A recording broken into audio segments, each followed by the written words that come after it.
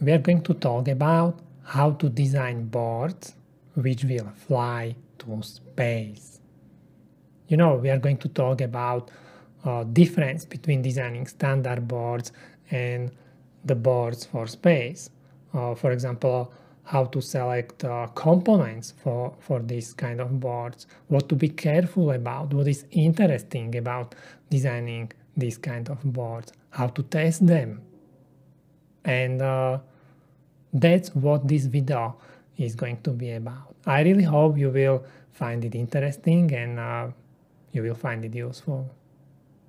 I'm not an expert in designing boards for space, so I had a call with Cedric, he works at Astrobotic company. They are designing lunar landers and rovers. I recorded my call with Cedric and that's what you will see in this video. We are going to start talking about component selection, you know, how to decide what kind of components you can use on the board which uh, you can send to space. So uh, here is my call with Cedric. What uh, I would like to know, if someone mm-hmm. would like to design, for example, their own CubeSat, mm-hmm. Can they use like standard components? Or if they use standard components, then uh, there is very high chance that the mission is going to fail very quickly or it's not mm-hmm. going to work at all or you know what do you need to be careful when you are selecting components for something what goes to space that, that's that's a great question and, and i would say it depends on uh, first on your on your mission um, so if you're if you plan to build a CubeSat that is uh, scheduled to spend most of its lifetime in the close to let's see, uh, Van Allen belt where you have a presence of a lot of particle or charged particles that could hit your system, then yes, you need to to make sure that the component you pick are uh, uh, radiation hardened, for instance. Um, if you design a probe that goes very deep in the solar system and cross, uh, you know, I, I, don't know, Jupiter or other planet there where you could face, you could see a lot of radiation as well. Uh, yes, you, you, you want to, you, you want to pick a, a radiation hardened component. I, I, I think the, the philosophy of it is reduce the risk as much as possible for your mission. You know, there is space is so dangerous for for the electronics and and you want to lower the risk where it's obvious that there is a risk because of the nature of your of your parts. Um, at the end of the day you depending on your mission uh, you may not you may not to radiation harden all of your part because of the cost right? So and not all the parts are available in radiation hardened uh, category. So what you want to do is to design a system that is radiation tolerant. So that that's a big difference here. So you want to make sure that your, the printed circuit board you design and your in, in, in all your circuits um, can withstand uh, glitches or uh, perturbation due to the space environment. Okay, so and this is interesting. So basically, mm-hmm. uh, it is going to happen. Something is going to uh, interrupt or do something with the components, and you cannot really fully maybe protect it. You just mm-hmm. need to design it the way that it still will work perfectly fine. Exactly. So, um, for, for instance, let, let's take a, a simple example. So, let's say you have a processor that is responsible of keeping track of the status of, of your system. Let's uh, a watchdog, for instance. You have a watchdog processor running. You may not want to use a commercial version of, of that watchdog, right? Because it, it's a critical piece of the puzzle that cannot fail, mm-hmm. right? Because if the watchdog fails, your full system st- fail. So it is a, a highly recommended or must to put is to to use, a, for instance, a rad hard uh, watchdog in that case to make sure that your system your watchdog will be the last piece of your puzzle to fail if something goes wrong. Okay. So so there are components you, which you would like to use, uh, the components which are specifically designed for space. Yes. And these are the components which will make sure that even mm. if the other parts of your system which may not be so mm-hmm. uh, space tolerant if they mm-hmm. fail this mm-hmm. really good processor or watchdog for example will make yep. sure they will come up again and they will start working again correctly yeah yeah and actually it's you, yes you're, you're absolutely right and it's especially true nowadays with all the booming industry with those hundreds of satellites orbiting Earth right now, you know, with the CubeSats, uh, as we saw before, you know, um, th- th- there is a big push of trying to use uh, COTS for space application. Um, uh, for components of the shelf, sorry. Uh, okay, I, am thinking like what cut? I will put there some cut. So, um, um, like you you could use, for instance, uh, AC Q, uh, Q uh, 200 automotive parts, you know, uh, because they've been tested to to stress, you know, to vibration already. So they, they pass a certain amount of uh, of safety, and using those, you know, in some maybe in some aspect of your design is acceptable, you know, because they are not uh, part of your critical path of your system. And maybe if some subsystem, you know, a reset is acceptable and you can recover uh, gracefully from, from a, a, reset in some, some function of your system, if you can accept that risk, then it's fine, you know.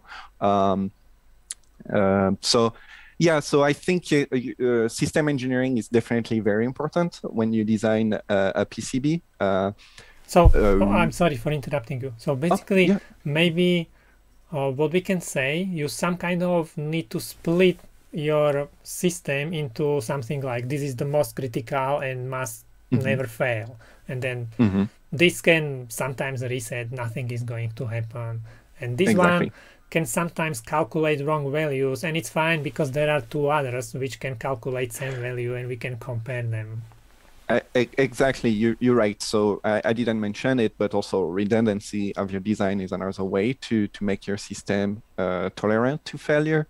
So uh, if you have two system or two circuit working in parallel uh, that could back up each other, uh, then that, that that's a way to, to making sure that uh, your, your, system will be to maximize your your uptime for your system. So that that's a good way to do that as well. Okay. But it's also it, it, there is also a very interesting uh, question is you know it, uh, using redundant system you know because the more you you put redundant system you also increase your chance of exposure to particles right just from a surface perspective of your circuit the, the bigger your circuit is the higher chance you have to be exposed to to particles so it's a fine balance between uh, having multiple circuits doing the same thing and multiplying the chance of being hit by a particle at the same time. So yeah, there is a quite interesting uh, problematic there. okay, um, so this is interesting. Okay, so I understand now. Theoretically, you can use also automotive components, but maybe only for some parts in yes, the design. Yeah, definitely. Okay. Mm-hmm. What about definitely. the like standard uh, when we are talking we were talking i guess mostly about chips, for example. But, but what about like uh, capacitors, resistors, diodes, transistors? Uh, mm-hmm. Uh, do you need to use some special resistors or? Yeah, so you you can uh, you can use surface mounted uh, resistors. You know, standard. no, stand yes yeah the same you know, you know uh, we if you use them you you you can use a definitely automotive one you know i what will uh, happen if a particle will, you know, crash on a resistor, is it going to do something? Is it going to change resistance, for example? So yeah, so that's uh, that that's some so the selection of the resistor, maybe not so much the resist, well, a little bit, but in general, you have to derate a lot your parts uh, because what you can expect is that their performance over time will degrade uh, because of the slow exposure to, to radiation. So all the components you select, capacitors, resistors, transistors, typically, you know, if you use, I'm just throwing a number here, but let's say you have a transistor that manage a 3, 3 volt, for instance. Maybe you will pick uh, a 10 volt, you know, or, or, a 15 volt transistor for that. Well, in space, you may not want to do that. You may want to pick the grading above, you know, 25 or maybe mm-hmm. um, maybe not 50 because you know over time the performance of that transistor will degrade um, because of the exposure to radiation. Radiation and also uh, uh, temperature swing as well. You know, the part could fatigue more rapidly. Um, so a capacitor as well is another good example, right? So um, if if you if you need to decouple, for instance, uh, uh, a three volt rail, uh, you may you, you don't want to pick a 5 volt capacitor or 6.3 volt capacitors for instance. You you will probably use 50 or 100 volt capacitors you know just so you know that you have the right clearance. That's something else too that is very important. So the risk of arcing in space uh, so you want to have uh, artificially uh, slightly bigger footprint so you reduce this chance of arcing in, in your system why the arcing would be happening more often in space yeah. So you you well you don't have any grounding uh, while you you fly and uh, and uh, an interesting uh, uh, phenomena that exists is uh, depending on um, if you have um, a part of your system that is exposed uh, for an extended period of time to uh, to the sun, for instance, you will have a buildup of, of charges there. Um, and if they are not electrically connected to the part that is facing the deep space, for instance, uh, you could have uh, a, a, potential created between those 2 mm-hmm. uh, two pieces. And if you don't have the clearance, you could have uh, arcing um, uh, generated because of, this different difference of potential. so does it mean your uh, based on what you just explained, uh, you would like to use, for example, bigger footprints rather than smaller. Like if you have if you have uh, different because you have different sizes capacitors, for example. So mm-hmm. Uh, would you rather use bigger one, let's say 1206 and now 0402 or? Yeah, yeah. So definitely, yes. You you want to to to artificially increase uh, physically the size of, of your footprint. Uh, and for, it's not only because of arcing, but I guess also because of vibration, because there will be better uh, soldering. That's that's a good question. Um, so yes, it's true uh, as well. So you will have uh, a better uh, you know structure uh, your component will be more uh, better installed on, on, your on your part. Um, also you you when you can uh, it's uh, it, more specifically for integrated circuits uh, it is better to use uh, leaded parts because they you know they they have more compliance i guess with the with, with vibration um, and that's why maybe I can share a picture here. Um, if you can see mm-hmm. here, uh, can you see the image? Yes, I can see it. Uh, great.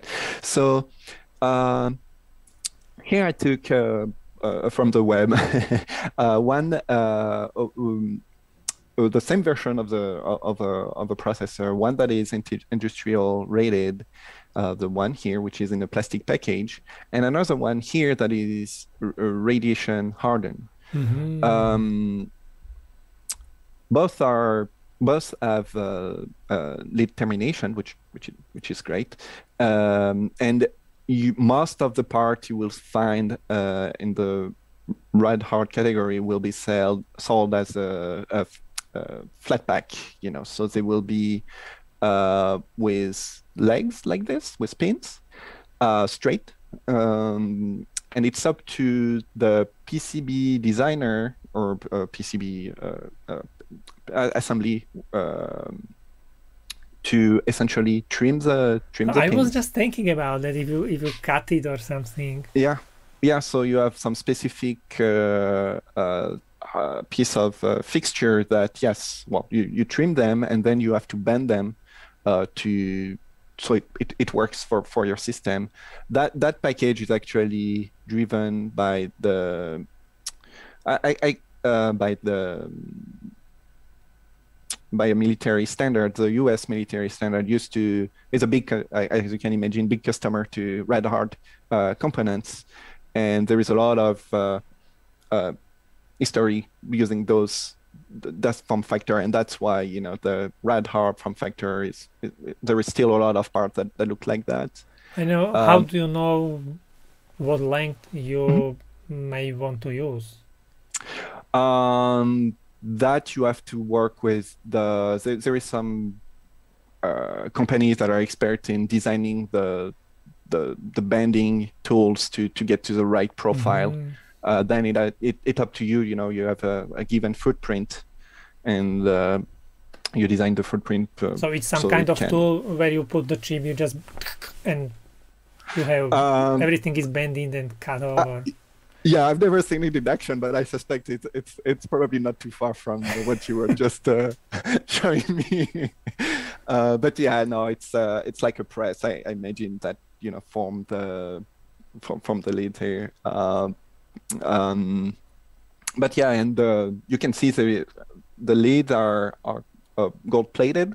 Uh, so that's to essentially the the integrated circuit is encapsulated with a cap here, a golden cap on top of it just to protect from uh, radiation. Um, so and yeah, this is basically so same microcontroller.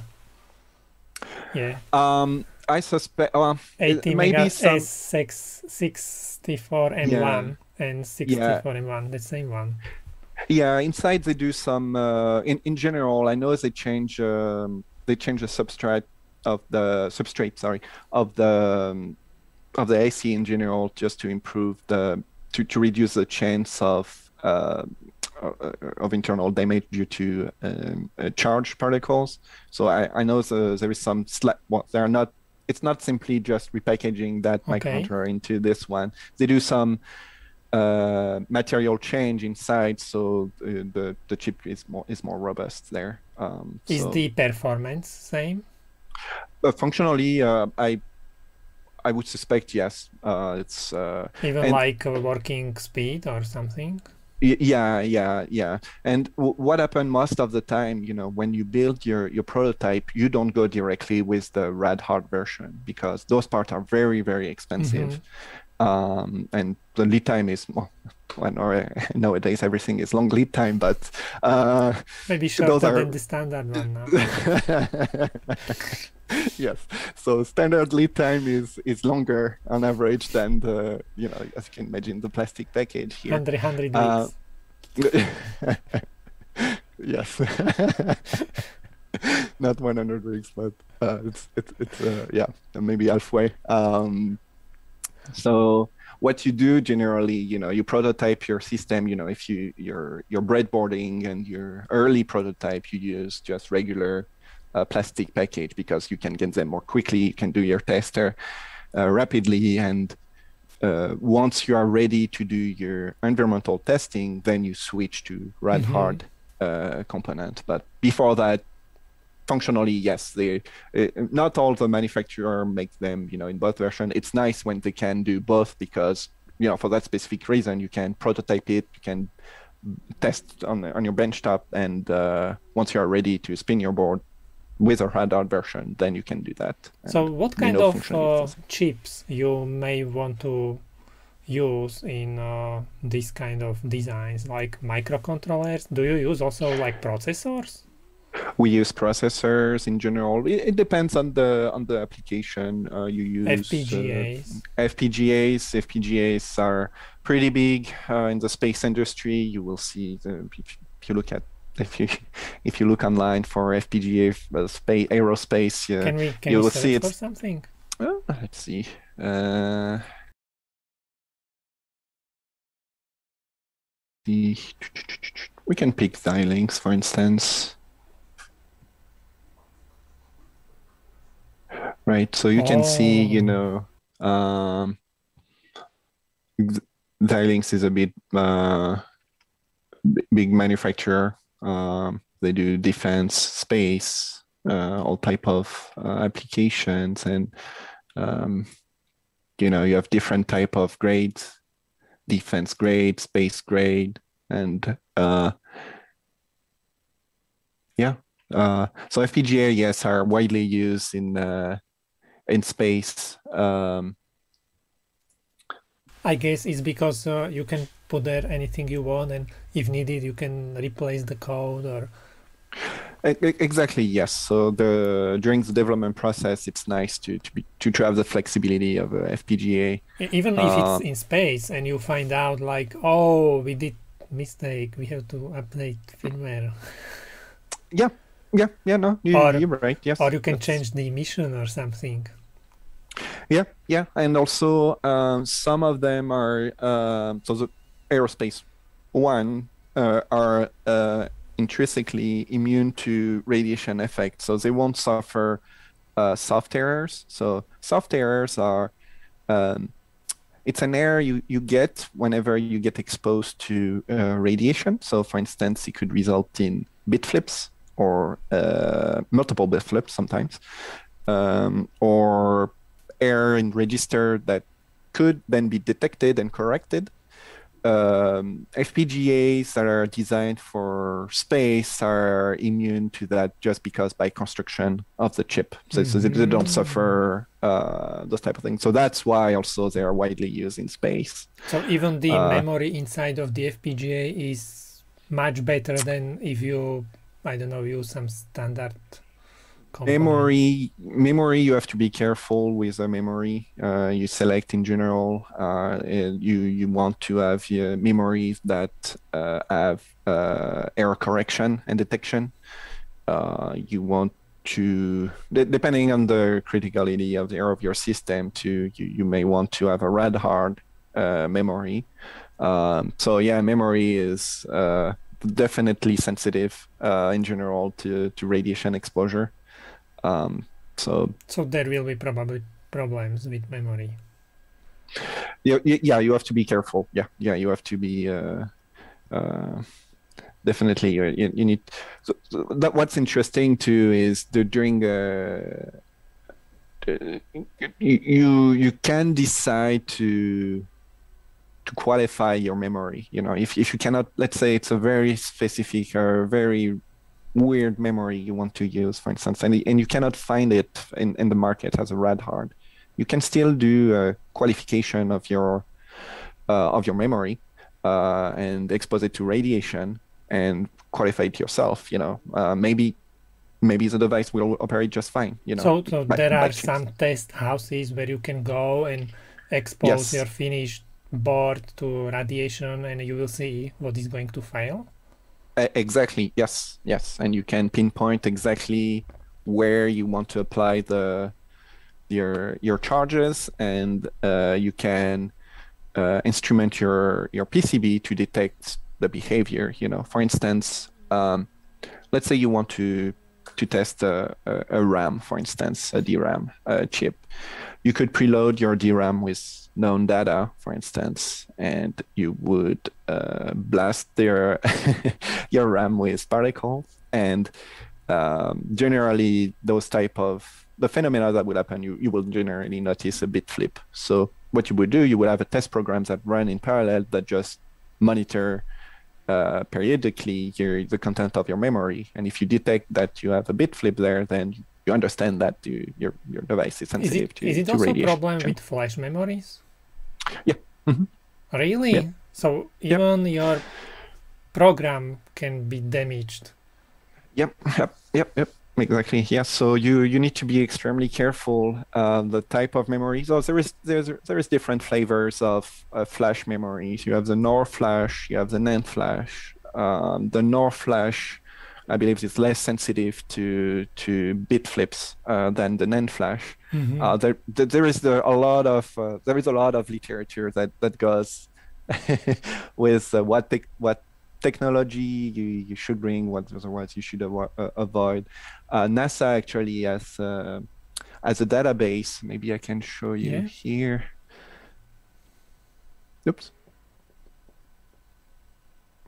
Mhm. Uh, nope, that, that's uh, here. Uh, Oh. yeah. So NASA has a database essentially that compile all the parts that have flew in space. So if you don't know, you know, if uh, if you could pick a given connector, or if you want to check if hey, is So instead of DigiKey, you go here. yeah, yes. so essentially, yes, they list all the parts that have uh, flew in space. If you click on Um, parts, what what will show there? Part list. Oh, here it is. Oh, there are resistors, There you go. Yeah. capacitors, connectors, relays, resistors. So yeah, those those parts. If you look in the document, those parts I, I flew. Uh, If, if you in- click in, on in all space. the resistors, for example, there will be like specific Mm, part numbers. Um, If you go on Uh, yeah, maybe I don't know. I don't know if you can. I don't know if it's um, export sensitive or something like that. I don't know if I can Ah, okay, uh, okay, share that. okay, Maybe I don't know. okay. No, th- okay. So Mm. that just if people would like to see it, then they can they can go. There. Yeah, yeah. I don't If know. they see the Uh, document. Yeah, yeah, yeah. Okay, I understand. Um, I, I I don't know the. it's good point. I don't know too.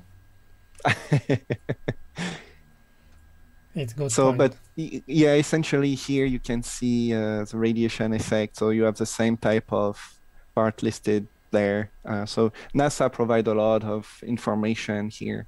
Mhm. um, for the for the public to to see. So it, it's it's nice. It's definitely uh, handy.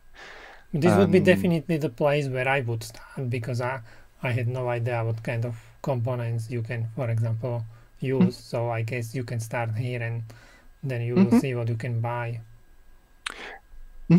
And uh, another aspect too um, that I didn't mention, and the difference between the uh, I'm sorry, those package and and those as well is um, the the use of plastic in space could be a problem uh, because of the outgassing.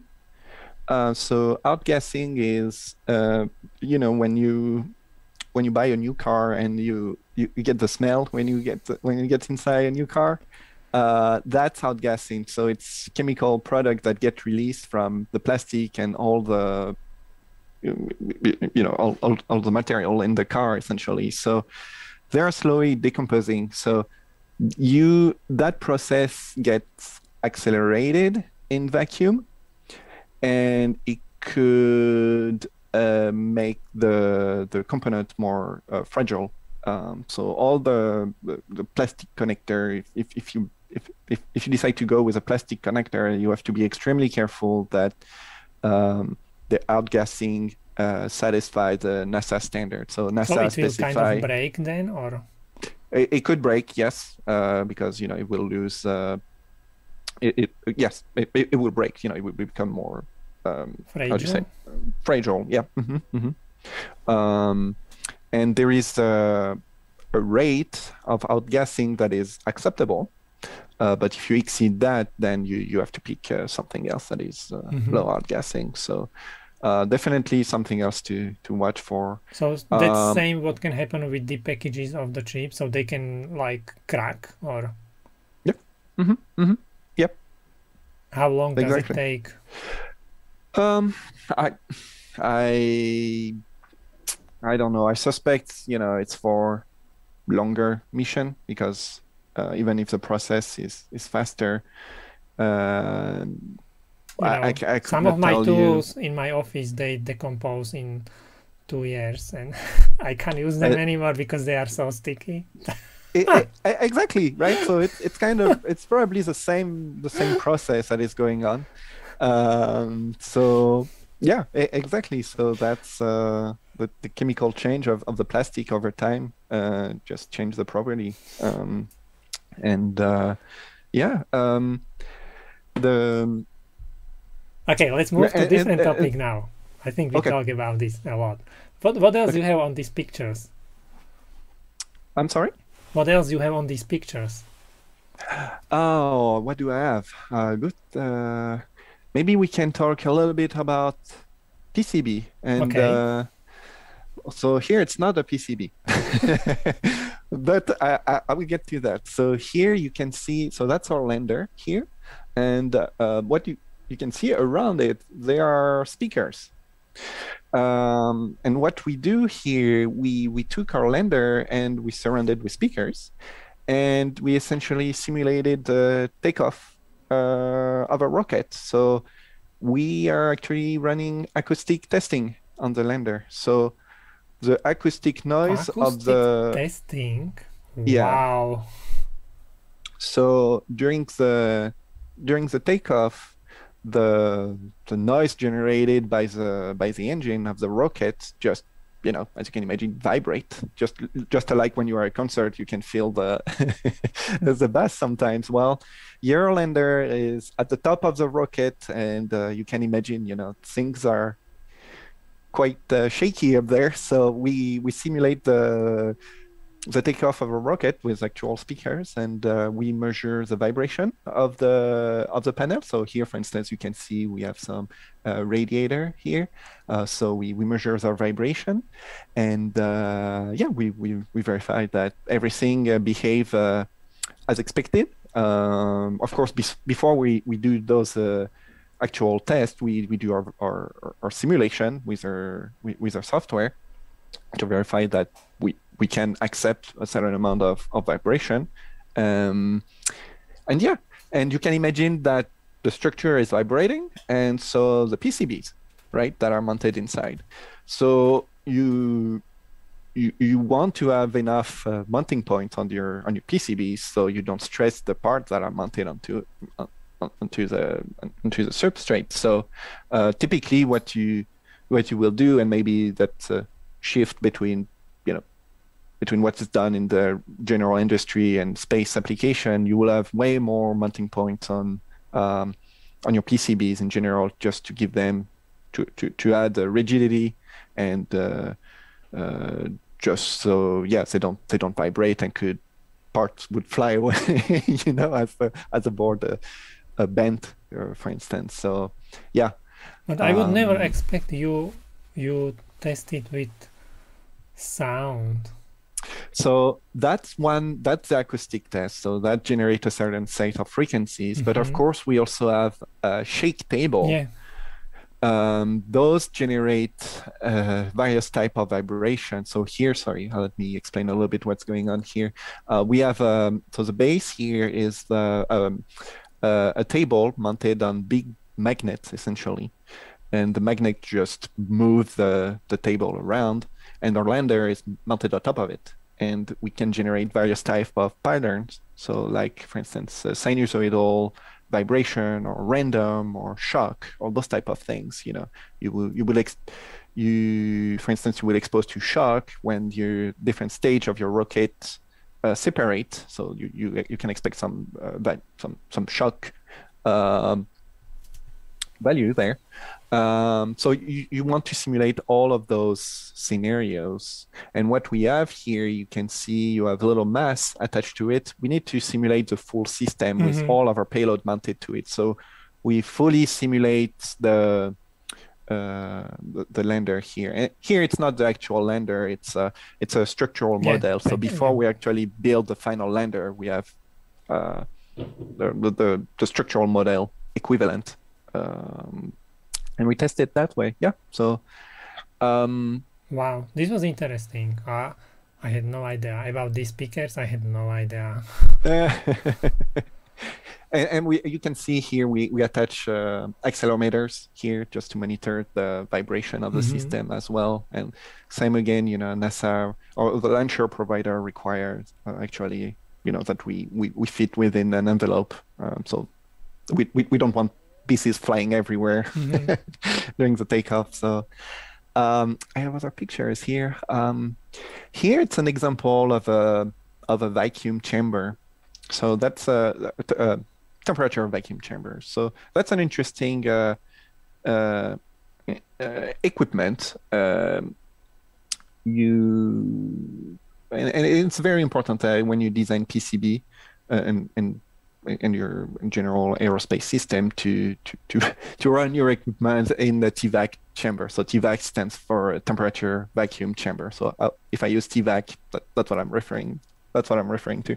So a, a TVAC chamber allows to verify that your thermal model is accurate when you design subsystem of your of your spaceship. So what you what you what you do typically when you design a PCB, you work in close relationship with your thermal engineer that will simulate the uh, power loss you have in your circuit board, for instance, and uh, through complicated software, thermal software, essentially, they will be able to predict what where the and how the heat will dissipate onto your board. Um, because I think we need to explain once there is no vacuum, only the way how the heat is going to be transferred is through this structure of the board. You are absolutely right. Yes, or uh, the only way to dissipate the heat in space is through conduction or radiation. So conduction is when you have physical contact between your part or your PCB or your copper with a radiator. The, a radiator is a piece of hardware that is capable of emitting, uh, dispersing the heat or dissipate the heat away from your system. Radiation is um, just the emission of uh, uh, uh, uh like uh, infrared, essentially. Um, just like when you stand close to charcoal, you know, you can you cannot see the, the you cannot see any fire, but you can feel the the heat. So that's what the that's how the heat gets transferred through radiation. So you have those two options. You cannot use uh, uh, the convection of the air to to cool down your equipment because obviously there is no air in space. So it's very important to to design carefully your PCB to maximize the path for for heat dissipation and um, you can do that in a couple of ways you know you use a lot of coppers uh, you use a lot of heat sinks. Uh, you could use thermal straps. But the heat sink, I uh, guess, has to be always connected somewhere. Uh, the heat sink needs to be connected to a radiator, not to a fan. yes. Um, so uh, you could, uh, let's see, you could you you you use a lot of vias, you know, because you try to gr- grab away the your, your, your heat away from your part. So uh, when you use vias and you can tie it to a plane or power plane or ground plane, you usually do that. Um, and if you can uh, at, thermally connect that to, to your radiator, it's even better. Uh, so you try really to be careful uh, how you manage your heat on your PCB.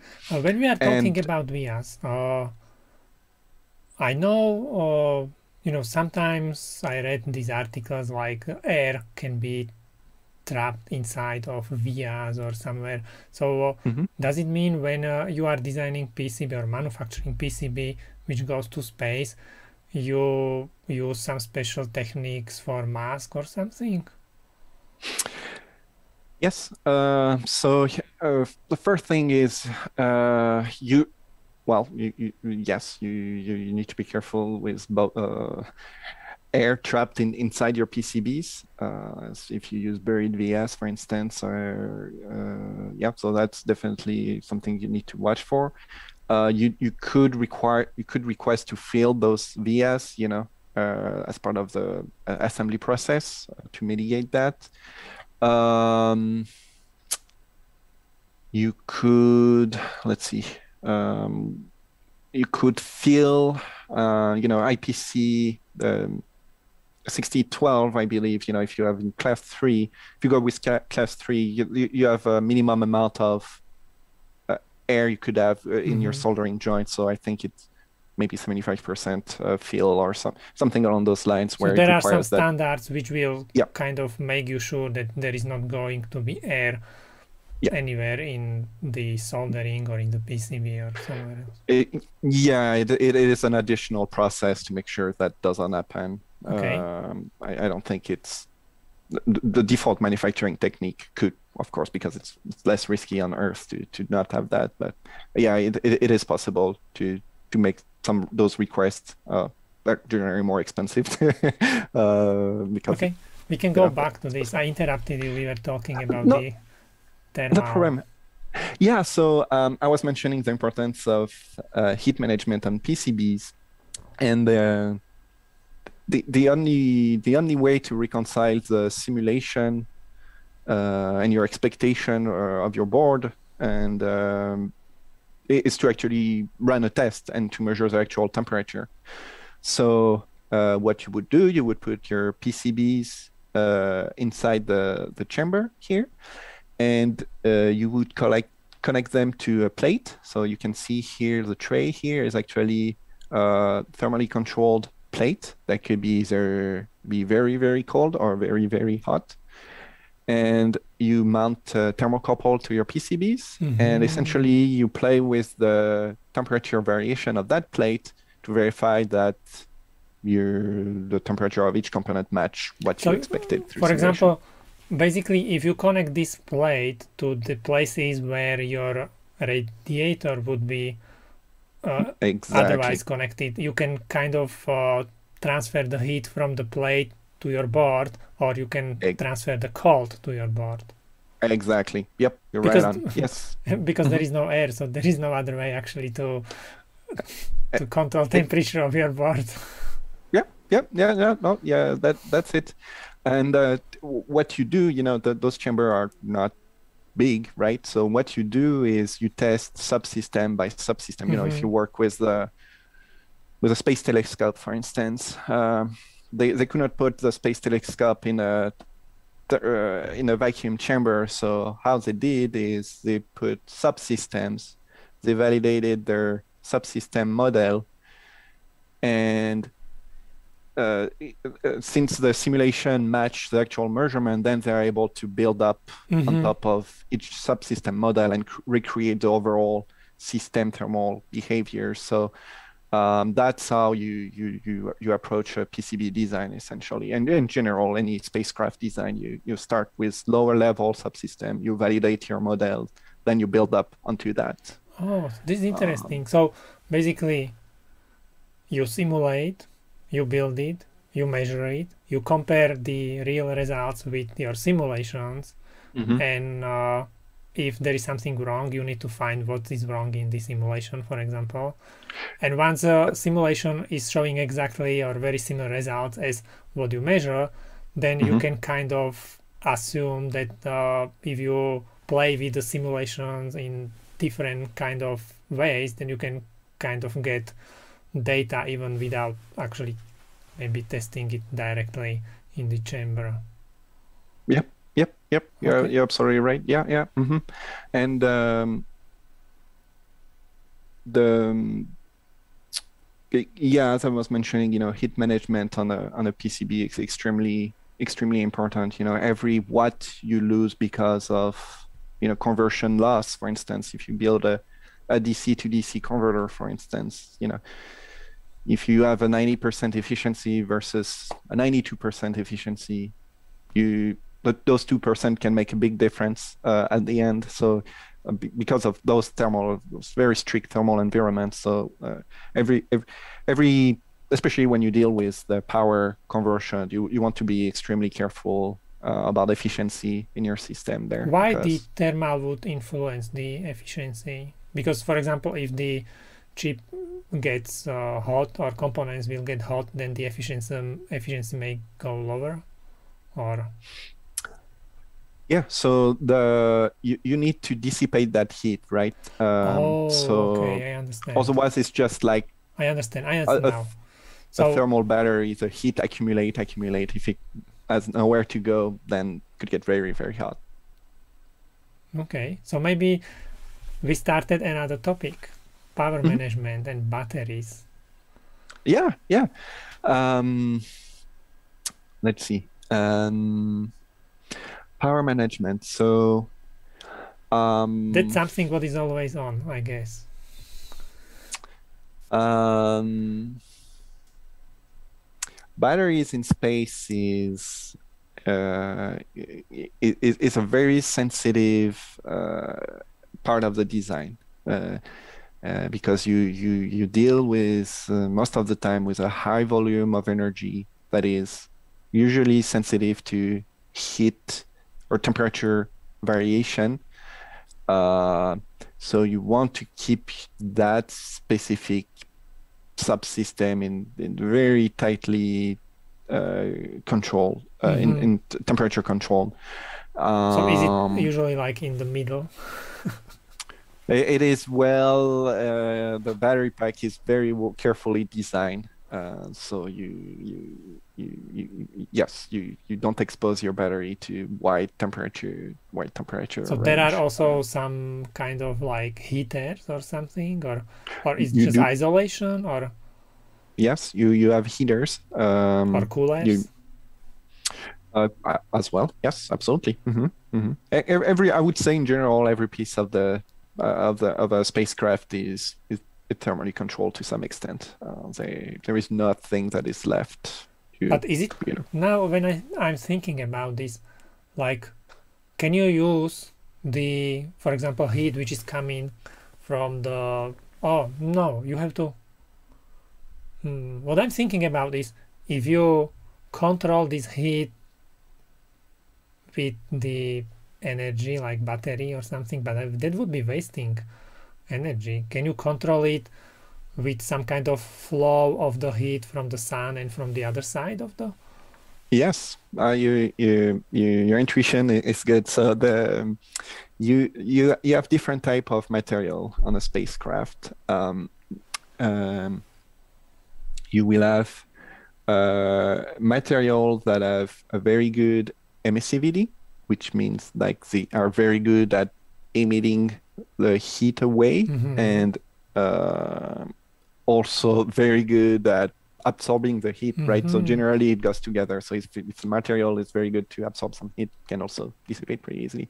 Some of them will be insulation, right? So, and you have to play with those two insulation and high emissivity material to find the right balance.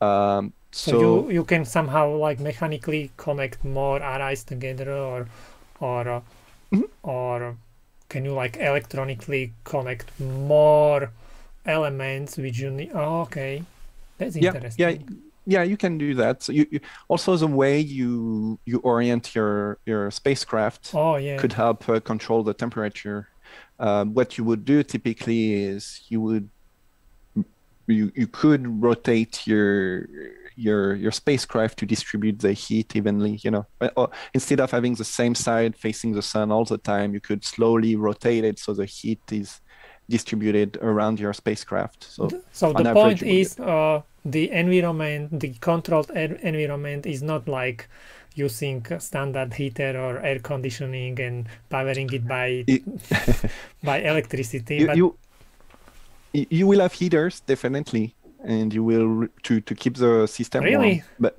yep. Mm-hmm, mm-hmm. Uh, and you will have a radiator to to to cool it down. Yep. So you and it's yes. Uh, if if you don't. Uh, typically you would have a heater inside a insulated compartment. But right? would so this heater want... be powered by electricity? By the battery, yeah, for instance, yeah, mm-hmm. or by solar panel, or. Mm-hmm. Interesting.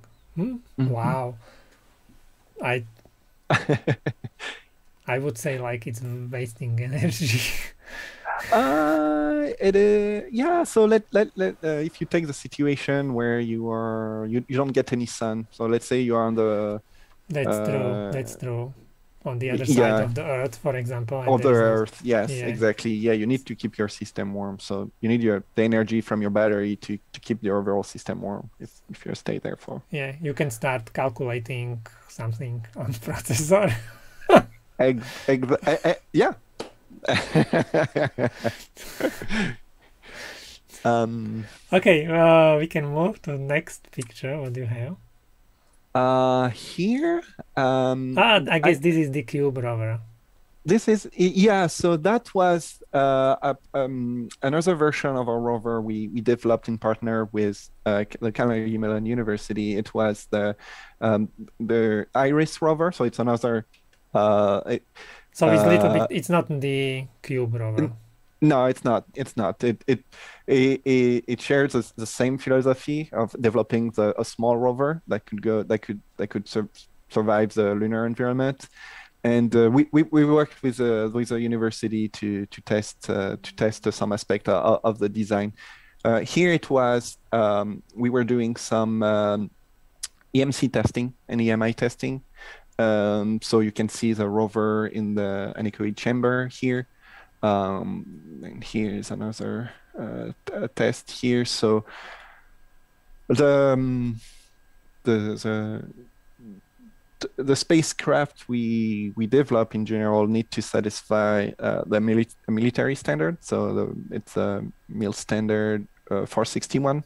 Um, so we we need to to demonstrate that our the system can uh, is not susceptible for for instance to external radio uh, signal, uh, but doesn't also emit uh, you know uh, radio signal that could perturbate other other systems. Uh, so we have uh, we need to test for radio emission. We also need to test for conducted emission. So conducted emission is a noise radiated through cables. But there and, are no cables. Um, here there is no cables. Uh, the, the, there is some cables when you are uh, mounted to the lander. So um, or ah, yeah, okay, understand. So. Oh, so your device can uh, make problems in the rocket, for example. exactly. Yeah. yeah, yeah, exactly. Yeah, if you have a payload mounted to a lander, you know, we we need to verify that that specific payload once it's connected to our lander will not create problems. Mm-hmm. Uh, so we we we need to each payload need to demonstrate that uh, essentially. So mm-hmm. those those type of compliance. Okay, that makes sense. Um, yeah. Mm-hmm. Um, the, there is a lot of testing to do. um, uh, I mentioned conducted, uh, immediate, um, uh, susceptibility as well. You know, if if another system makes a lot of noise, you know, you, you don't want your system to reset, for instance. So mm-hmm. you need to show that your system, just for its own sake, is robust to external perturbations. Um, is there something like ESD testing, or there is some something yeah. similar, or, or for higher voltages? Yep. Yeah, yeah, yeah. So uh, ESD can uh, generate definitely its own set of radio problem, you know, if the system is not exposed directly to electrostatic discharge, uh, it could still be sensitive to you know the radio generated by those type of events. So you you you, you need to test to ESD uh, for uh, general system uh, robustness, uh, but you you also need to to zap your system just to make sure that when it's exposed to electrostatic discharge, it's not going uh, to be damaged. Yeah. It's not going to be damaged. Also, there is uh, you, you need to have a good uh, uh, bonding with the rest of your with the rest of the system uh, to not trigger electrostatic discharge uh, during the critical phase of your mission. Let's say I have a payload that is mounted to I don't know, uh, or, or, some a subsystem that is mounted to uh, a fuel uh, oh, uh, dispenser, yeah. for instance. Yes, you, so you, you you don't want your your a bad grounding between that piece of the system and something that could be uh, generate some uh, an explosion, for instance. So bonding is is very important there, and, and so and grounding as well. Um, uh, NASA has uh, I had some uh, some things here. NASA has some uh, handbooks uh, that essentially provide some guidance there how to mount grounding your... for spacecraft. Yes. That's kind of funny. One on one, on one. one on one. So yeah, so it's, it's very specific, but it's extremely useful. You know, when you, especially when you join the space industry, you're like, oh wow, that's a very complicated puzzle. But there is a lot of, in general, good documentation from NASA that help you. You know, uh, So gra- grounding in um, spacecraft, it means everything has to be connected together, not to ground. Yeah. Uh, yeah, eh, right. Yeah, yeah. Uh, so here is a, I just extracted a little section here just to show an example of how you how you would ground your your system. So and how you would connect uh, different subsystem together. Here's a show, you know, typically how you would prevent ground loops. Um, so you don't want ground Mhm. loops in your system. So uh, it's recommended to isolate. You know, if you Oh, have some signal going from yeah from just to break the loop essentially. So if you don't have any isolation, you, you could have a ground loop here Mhm, I circulating created with your true system. So what's generally recommended is to isolate those interface between. So this can be, for example, payload, and the other one can be the spacecraft and so, or something. Mhm. and- Mhm. Okay. Yep, yep. So that's just uh just just an example. They have different topologies depending on your on your application, uh, interface of communication and all of that. So That's interesting. Um, so yeah. even like in uh, this, uh, I don't know, even between different places inside of spacecraft, you can have different potentials. uh, Uh, Yeah. Just because it is so large, or uh, be, be- yes, uh, and uh, because of the um, you know the, the the environment, you know, when you with the with the air, you know, the, during takeoff, uh, you have a lot of um, electrostatic phenomena that are that, that are happening. Yeah, you know, um, with the friction of the air on different material. Uh, you want those charges to be distributed evenly on your system, not accumulating in, in some spots. So Mhm. um, so that's in the atmosphere and in space, as, as we mentioned before. Uh, you know, the effect of the sun hitting the the your material could generate the, its own charge that out of do you uh, know uh, how much voltage, for example, can be between different sides of Um, the spacecraft? kilovolts. I mean, com- wow. Yeah, so if you if you don't mitigate them, yeah, so it could be uh yeah, it's it's like an electrostatic discharge, you know. Um but low, low current So high, even high, if- high voltage. even it is kind of shorted together, you still can have kilovolts. Well, Or well, because no, you if you- short it, then there will be no kilovolts. Right, exactly. Yes. If you have true truly separated parts, you know, if you don't take care of those phenomena, yeah, you could have pretty high uh, potential there and you could have arcing that completely destroy solar panels, for instance, if they're not grounded correctly. You could just get blew away cells of your uh, solar panel. Um, um, I'm sure if you if you look online, you get a pretty cool picture of uh, uh, ESD damage due to uh, uh, uh, uh, um, electrostatic damage. Yeah, in space. So that's um yeah, that's that's another piece of the puzzle to to play with. Interesting. Okay, we can move to something else. Um, um, let's talk about uh, a little bit more about maybe uh, PCBs and other challenges that Okay. are happening in, in space. So, what we didn't cover is the so we, we covered uh, packages, but another phenomena here that is kind of tied to the soldering technique is the the tin uh, whiskers that they, they, they call it like that here. So whiskering is uh, is uh, is a crystallization phenomena that happens uh, when you use uh, lead-free um, tin. Um, so that those are I don't know if you can see here can very see well, spikes, but yeah. yeah, those are little spikes that are conductive. Um, and as you can imagine, they could be very problematic. uh, it's the- basically growing tin.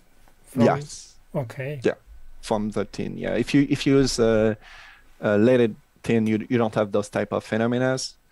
Um, but as you can imagine, it it is uh, it, it could be very problematic here. For instance, here it's a little oscillator, and you have some you, you could have whiskers that essentially short your the chassis of your oscillator with the, your oscillating pin, for instance. Wow, I would and, never thought something like this is happening there.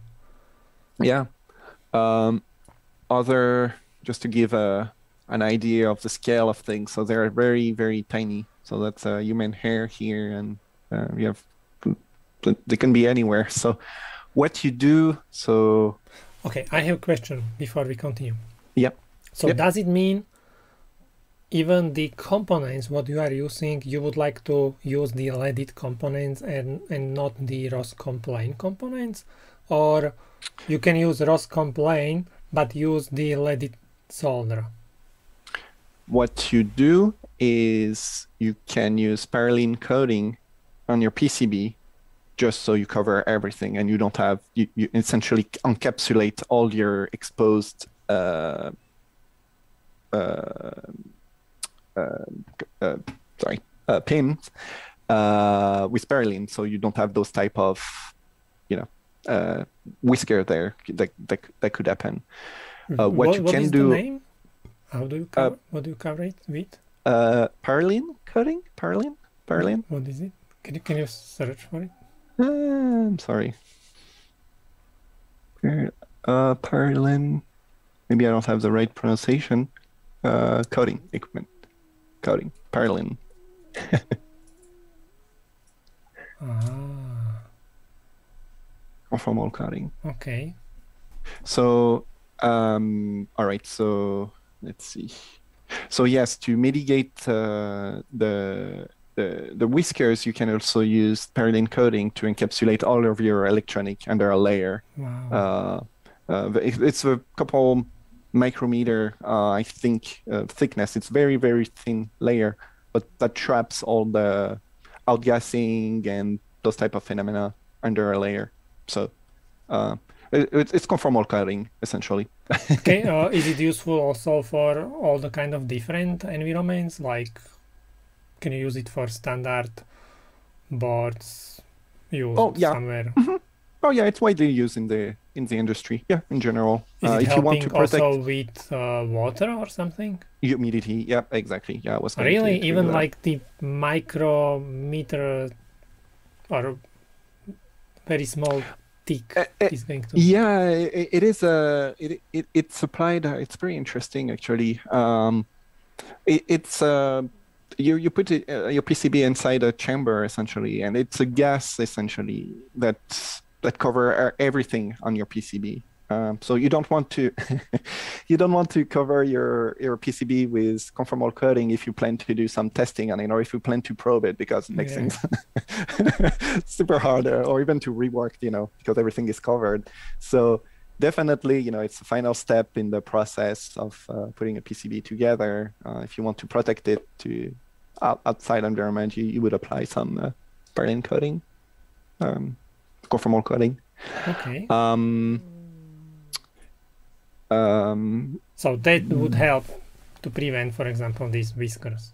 Yes, yes, yes. Or what you can do also on some uh, BGAs, for instance, you can uh, if you if you cannot find a, a leaded compliant BGA, you could you could re- reball your your your chip essentially. So redo the the surface um, there. So um, that that's an option as well. Um, so yeah, um, uh, let's see, system engineering. Um, um, NASA provide a very nice handbook, you know, uh, to help you walk through uh, uh, designing a aer- aerospace uh, aer- uh, spacecraft. Uh, essentially, it will give you, you know, all the guidelines how you should manage risk in a design. Um, uh, how you you know project how how do you how do you manage mass power uh, you know oh, actually i didn't mention that so the importance of mass uh, in in space um, you well mass is very expensive you know a spacecraft uh, you uh, i think the price tag in general in the market is about a million dollar for a kilogram or something something along that order of magnitude. Maybe it changed recently but um, um, i guess it depends where you would like to deliver it. Yeah exactly. Well taking bringing things to orbit i think it, it's about that price tag. I, maybe i speak out of term here but i but i'm not i i think i'm not too far. So um, uh, the mass is very important on PCBs uh, because, well, when you fly a spacecraft, uh, in order to do the vibration testing we, we, we mentioned earlier, you need to know the mass of every component, right? Uh, because you need to simulate it and and therefore verify that all the structure can withstand the mass you have. Uh, for PCBs, it's it's pretty interesting, uh, and and I w- I wasn't doing that in my medical experience uh, background, but um, for uh, space, uh, when I design a PCB, I, I, take into account the mass of every component I have on my PCB. So uh, the all the ICs, all the resistors are used. You know, they have a mass associated with them. So you so, have you have Atmel, you have microchip, and then you are thinking, oh, this one is a little bit lighter, so I'm going to use this one. I I, I would not say it's a it's a decision factor. Uh, necessarily but uh, at the end of the day you know when i generate a, a, bill of material it's nice to have all right my pcb will be 200 grams or something like that you know and you know uh, you know and then you can give that number to your uh, structural yeah. engineer and At we'll be able to day, model that. Microchip and Atmel, they are all microchip anyway. They, yes, it's true. uh, so, uh, yeah, the I, yeah, at the end of the day, it's nice to have uh, the mass of your of your PCB before you fabricate them. Um, um, so mass, yes, is important, and and as a system engineer, what you look for um, a system engineer manage the mass and power, how it gets distributed uh, on a spacecraft. And uh, what they, what they have typically is they have a budget, they have to work, they have a maximum mass, they have to a limit uh, of the mass they have to work with, and um, they have to they, also spread it uh, around? They, yes, they have to spread it across subsystems. You know, let's say if uh, the maximum allowed mass for your system is one ton, for instance, one one ton, then you have to figure out, all right, how do I, how do I distribute that mass, or what's the maximum allowable mass per per subsystem? You know, and um, because you don't want to exceed the, the mass. So depending on the phase of the project you are in, you you allow different uh, margin uh, in your system. So you, let's say uh, you're given to to design a PCB, and you say, all right, you you have 100 grams budget, so that's your maximum budget there. When you are very early in the design phase of your PCB, you don't know exactly what part you're going to use, right? So you, you may swap components. You don't know just yet because of the maturity of, of your design, of course. And therefore, at the very beginning of the of the project, you have a higher tolerance or um, or your final mass estimate. But as the project progress, you know that margin becomes narrower and narrower because you you're you're expected to know at the end of the day what the final mass of mm-hmm. your of your system is. So that that that those type of information that NASA provide, you know, the, those type of guidelines essentially that mm-hmm. help you design a good spacecraft. Um, so um, yeah. So does so... it mean like, for example, for to conduct the heat, you are not going to use metal. You can use something what is light or light metal. You will use light metal or something. Um.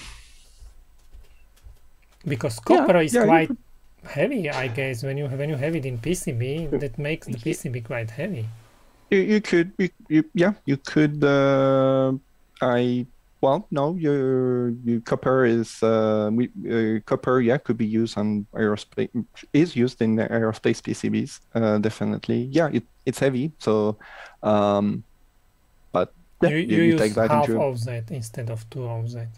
Uh, if you if you want the, the the then what you what you have to manage is the if you decide to go with one ounce of copper then you need to say to think all right is this good enough for my thermal management you know two ounces is better than one ounce to to act as a heat sink so okay. Um, but or, so so do you need to also consider like weight of the copper i don't know i don't know um, how much it actually weighs i don't we, know yeah, yeah, yeah, yeah. Some you of the PCBs the... are quite heavy, I think. Mm-hmm, mm-hmm. Yeah, yeah. You you know the layer of you know you know the number of layers you have on your PCBs. You know the mass or density of the of the copper. Therefore, you can extrapolate the the mass of your bare PCB. So does it mean also you have to be careful how you distribute the components and the copper on the PCB? Um, right. Yes. According to weight, I mean. Uh, yeah, yeah. Because uh, let's say if you have um, uh, a piece, a piece, a section of your PCB that is not strongly mounted to mm-hmm. your chassis, for yeah. instance. Let, let's say if you have a big isolation transformer, just throwing something there, uh, that is pretty m- massive. Yeah, you know. I, okay, I understand. Then it would, we don't need to speak then it would shake. This. Okay, mm-hmm. so let's go back to this uh, NASA System Engineering Handbook. Can you download it? Mm-hmm. You you can download it. Yep, yep. It's publicly uh, available. I may um, I may so search for this and maybe download it and have a look what is inside. yeah, you can poke around. Yeah, it's very very interesting. Do we have something? Do we have something to talk about safety standard? Uh oh, maybe I had one here. Yes. Um, Safety standard. All right. So uh, about safety standards, so uh, NASA uh, classify its missions. Uh, its missions, sorry. Um, so depending of the the risk, you know, depending if you bring uh, if, if if you have a crewed mission versus uh, robotic mission, for instance, you you will have you know different risk associated with that. And in order to categorize them, you have several class of, of missions. Um, and from those class of mission, essentially, you you, you generate a, a new set of, of requirements that goes with it. So, for instance, um, if you have uh, uh, crewed mission, for instance, maybe you, you, you will be asked to demonstrate a higher level of redundancy throughout your system hardware, software, you know, risk mitigation, and all of that. At a project level as well, you know, how you how did you manage your project, or what type of testing did you do to demonstrate your your system was viable, and all of that. De- de- depending on the, the, the circumstance of your mission, you you need to demonstrate a level of uh, design testing uh, and uh, design consideration uh, that satisfy the that you lower the risk enough that it it, it, it, it is acceptable uh, to, to have that mission. There so is always a risk. It's before yeah. you start designing anything, you have to read a lot of documents to mm-hmm. actually mm. understand what it is, what it expected from you to design. it is true. Yeah, you you uh, you, you start a project with requirements and if you know when you start your project you know what the purpose of, of, of your project is and you, you know what mission you will accomplish. So based on that you in your requirement management yeah yeah you uh, you you you need to capture the right requirements to to to to address the right uh, set of uh, so a b c d these are all different uh, kind of missions yeah class yes there are class of missions yes. So what are, what are the biggest challenges when you are designing these boards? Is it like what is the most stress? Like is it going to work when we are going to land? Yes that's uh, that's uh, definitely uh, a stressor. Uh, the what's challenging is you, you need to think of every, everything, right? Every every every little detail matter, uh, and uh, the the, the as uh, says uh, as people say, you know, the devil resides in, in, in, the detail, right? So you you you need to pay attention to every aspect of your design, and um, if something goes wrong, you always want to recover in such a way that you can resume the operation. So, do you uh, have if, some people which are uh, thinking like, or which will be pointing out, what if this will go wrong? What if this will, work? yeah, will yeah, we do we, we do that. We do that. So we do uh, what is called uh, a failure mode analysis. So essentially, we we take a look at our at our design and uh, we say, all right, resistor B fail in a short circuit manner, how does that propagate to the rest of your system? And then we do the fault tree analysis and we, we, we look at what are all the consequences there. We associate some score. And if the score passes a threshold that is not acceptable, then we need to add either mitigation, additional mitigation in our circuit to address uh, that risk. Wow. Uh, or if the risk is low enough, then we accept the risk that uh, some failure could happen there so as well. So you that's uh, definitely uh, tedious work you know to go over your design and look at every failure combination possible there. But w- we have to do that um, uh, because we can go we, we cannot go to the moon and push a reset button or unplug and plug it back. Uh, so uh, it, it, it is acceptable you know to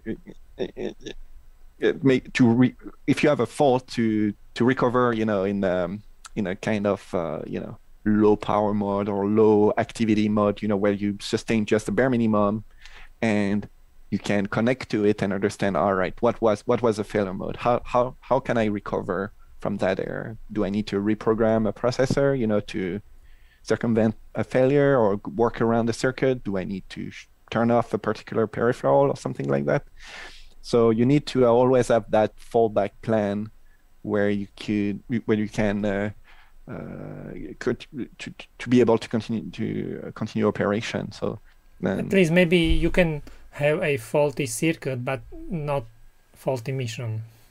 Exactly. Yes. Exactly. Uh, let's say if you lose control of, I don't know. uh, uh, uh, let's say one camera dies, for instance, and you have a pair of camera, you, you can you could maybe continue your mission with just one camera just fine. Yeah. Maybe you won't hit all your your milestones, you know, but maybe you could do, you know, ninety percent of your mission.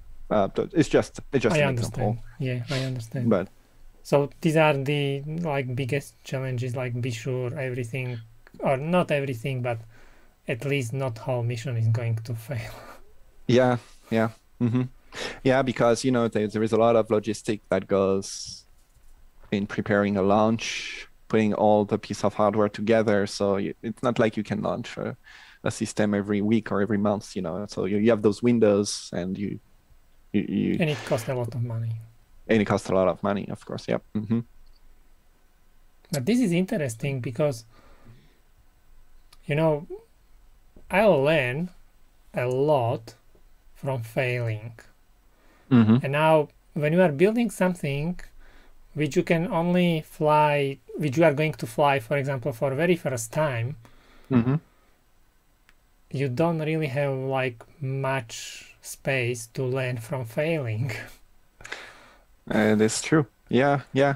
Uh, that's uh, because you you never can right? think about everything, you know. But, yeah, yeah, that's a challenge, right? So that's uh, that's part of the challenging side of the job uh, is to if you can simulate it you simulate it. And uh, thank, thank goodness we can simulate uh, everything nowadays uh, pretty rapidly you know with the you know very very powerful computers. Um, so yeah um, everything is done through simulation so sure. how did you find job in this company? I, I applied uh, just um, I, I I wasn't expecting uh, you know to to to, to be hired, you know, because I was happy at my at my, previous job, and uh, you know, I was like, hey, I always wanted to to to design rovers for uh, for spacecraft. So and there was that opportunity that came up in in Pittsburgh, uh, in Pennsylvania, and I was like, well, let, let's try it. You know, who knows? And yeah, it turned out great, and uh, yeah, I. I, I love it. It's just uh, it's it's really fun, and the team is just wonderful. You know, it's uh, we have a lot of to, to demonstrate, but it, it's very very exciting, you know. And uh, everybody is passionate about space. You know, it's uh, it's an it's a nice community to to work in for sure. Um, so, what do you think and, if uh, someone would be interested to work in this area? What they need to do, or how they how they, or what do you think can help them to actually get the job in this kind of company? Should they have some kind of previous experience in some areas or? Yeah. Um, so uh, most importantly, I think it's just a passion for for space, right? So we. You, you, because it's a lot of work. It's a lot of hard work. Uh, it's it, nothing is easy in space, uh, and designing a system that live in space is de- definitely difficult and has quite a lot of challenges. So I would say, you know, the, the right attitude for somebody that, that want to enter the space industry is, you know, showing a record that of persistence, you know, um, facing tough challenges, you know, and uh, resolving tough challenges through design or, you know, working, being good, working in teams uh, as well. Um, being creative, uh, there is a lot to demonstrate and a lot of how they can demonstrate it before applying for the job. Uh, well, through you know similar type of projects. You know, um, I would mention in the robotics, for instance, field. You know, there is a lot of cool things that are happening right now on on Earth, and the you, you know the, the way you approach uh, uh, you know solving a problem uh, could be applicable you know, if you if you feel if you have the crea- creative uh, mind, I think you, c- could be also very useful if you apply to, I don't know, uh, car industry or space industry, for instance. Just to, I, I think the the aspect of teamwork, creativity, you know, and being able to face tough challenges and being persistent, I think are, are really key for for working in the in the space industry. Uh, teamwork definitely because you know, they, you is, is most important because you you there is no such thing that a Superman that can do everything on its own. You, a, a, spacecraft is very complex system, and you you have to work together to find to, to find solution, come up with good designs. You know, being very receptive to the critics you get from experts as well. You know, taking into account. I always ask uh, like, uh, is it okay if I give you stuff or when I'm hiring someone, like I ask, what if I mm-hmm. tell you that you should do it different way? Are you going to be angry? No. you you you know you have uh, when you get critics uh, you, you you you you from experts you, you accept you accept them you know you oh, could, but some you challenge them don't. if you have the right you, right you, you could challenge them if you have the right arguments you know because you know you, you need to have a you have you have to have a critical mind. You you you have to understand why a, a system is, another way is maybe better, but you you have to be open uh, to different perspective as well. Yeah. So, uh, what exactly you are designing?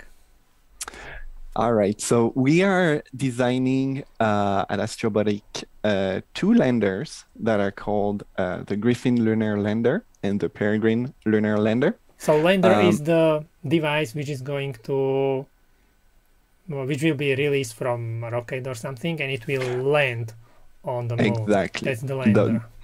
The, yes, exactly. So the lander uh, lands on the moon, and they are designed to carry uh, different types of payloads, as you can see in the pictures here.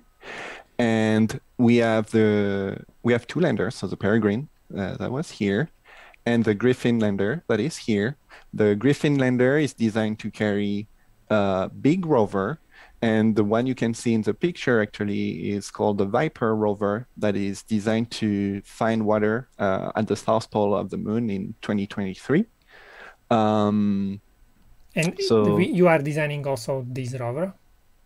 Uh, we are also designing the rovers uh, that I'm going to show here. So we have uh, the CubeRover, that is the smallest rover of our family of rovers. So we have, just like the CubeSat uh, product line, we have uh, a different size of CubeRovers that are also designed to carry uh, custom payloads in their belly here. And our biggest size rover is called the Polaris rover um, which is designed for a polar mission um, on the moon. And those rover are also general purpose rover, and they can be designed to carry bigger payloads in the order of 100 of kilograms, also be, are capable of processing the uh, lunar dust, uh, the regolith, um, um, and collect it in a bucket, essentially. And I've seen on the um, top of the page, you mm-hmm. are looking maybe for new engineers who oh, will help you. Yes. Oh yes, we, we love help. Uh, so yes, we are we are looking definitely for uh, all type of backgrounds. You know, electrical engineer, um, mechanical engineer, software engineer. So uh, definitely all the background and uh, are, are, welcome uh, uh, at Astrobotic. So we, are looking for passionate people and talented people as well. So yeah, um, yeah, it's great. And great place to work. Definitely unique. and uh, that's everything for today's video. I would like to say thank you so much, Cedric. And also uh, thank you so much, Astrobotic, and also other engineers from Astrobotic, Chris, Andrew. Uh, thank you for answering the questions what I I had them for I don't know for quite a long time, and I always wanted to know answers. Uh, what is different between designing boards uh, which will fly to space and the boards that I normally design, and and uh, you helped me to understand a lot about this process. So thank you very much. What about you? Uh, did you find this video useful? Do you have any questions? Leave comments. If you like this video, don't forget press like button. If you would like to see my future videos, don't forget to subscribe. I would like to thank you very much for watching this video and uh, see you next time. Bye.